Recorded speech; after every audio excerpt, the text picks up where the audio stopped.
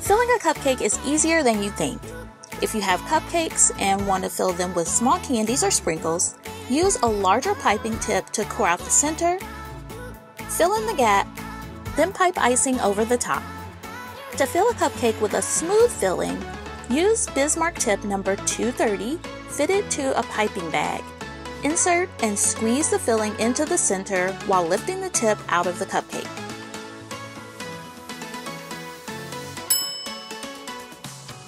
Did it work? And what about the sprinkles?